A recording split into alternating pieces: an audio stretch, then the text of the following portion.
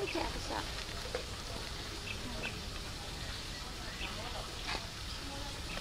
Oh, titig pa na,